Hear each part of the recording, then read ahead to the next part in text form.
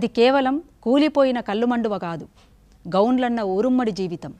కులమతాల భేదం లేకుండా సబ్బండ కష్టజీవులు కలిసి కూసొని ఇంత సల్లవడే సందర్భం.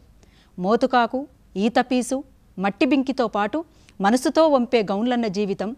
అనపగుడాలు బెబ్బర్లు ఉలువలు పెసర్లు పప్పు దినుసులు అంచుకు అందేవన్నీ దూరమైన గ్రామం. విధ్వంసం అవుతున్న గ్రౌండ్లన్న జీవితం అక్కెమాల్ ఖాన్ గట్టి వనంపై హక్కుల్ని పొందే కాలం పోయింది. హర్రాజుల్లో సెజులల్లో భూకుంభకోణాల్లో ఊడ్చుకుపోయిన భూముల్లో తాటివనం ఈతవనం కానవచ్చే జాడ ఎక్కడిది? నీటి దోనెలై అందిన తాటిదూలాలు పందిరి నీడలై పరుసుకునే తాటికమ్మలు పొయిలకట్టెలై అందే తాటి ఈతమట్టలు ఖర్జూరం తలపించే ఈత పండ్లు నోట్లేస్తే కరిగిపోయే తాటి ముంజలు అమృతంలా నీర మందులేని కల్తీ కళ్ళు అంతేనా? ఆకాశమంచుదాకా ఎగబాకి నేల కూలుతున్న గౌన్లన్న జీవిత సర్వస్వం నిరాకరించబడుతున్న హక్కుల పర్వం.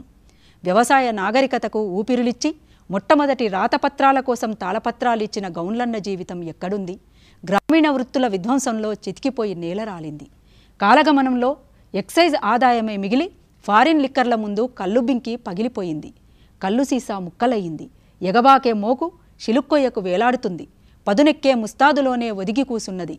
బహుజన రాజ్యాధికారాన్ని చాటిన సర్వాయి పాపన్న సాక్షిగా మేమెంతో మాకంత అనే సామాజిక న్యాయం సవాళ్ళను ఎదుర్కొంటుంది. కులవృత్తి బతుకుదెరువుపై పడుతున్న సమ్మెట దెబ్బలను సవాల్ చేస్తూ వస్తున్న గౌన్లన్న మోకు దెబ్బనై